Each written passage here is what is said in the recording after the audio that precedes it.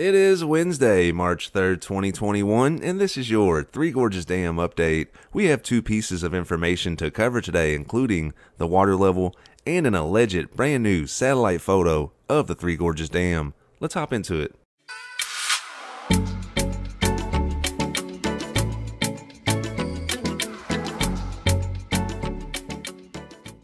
I hope you're having a good day out there today, wherever you may be. And first, we'll take a quick look at the water level at the Three Gorges Dam, which has slowly been falling. The current water level is 166.5 meters, the current inflow is not noted, and the current outflow is listed at 5,990 cubic meters per second. It is worth noting that these numbers are released by the CCP. So right now what we do know about China from the windy.com data at least is that there's a fairly large early spring rain system moving from west to east across China and over the next 7 to 10 days it is expected to drop a fairly large amount of rain in the Yangtze River Basin. And I'll keep an eye on that storm system and keep you posted as news develops. But in the meantime, I found this new satellite image and wanted to share it with you guys. On March 1st, SI Imaging Services was kind enough to tweet out this new satellite photo of the dam, and here's what it says. With digital elevation model extracted from satellite stereo data, we can measure water level and develop water management systems based on that. The Three Gorges Dam in Hubei, China is controlling water level to reduce the potential for floods downstream. So their tweet is implying this is a recent photo, but at the same time is talking about the floods from the summer, but I will say this, their satellite does provide us with a nice, crisp, clear image of the dam where it does not look warped or deformed.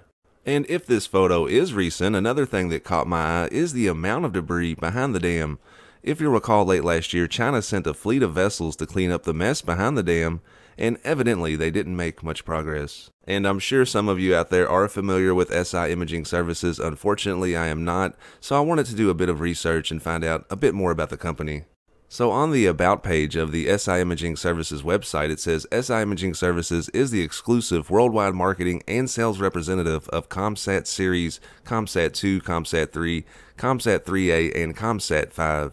SI contributes remote sensing and Earth observation industry societies by providing very high resolution optical and SAR images through over 137 sales partners worldwide.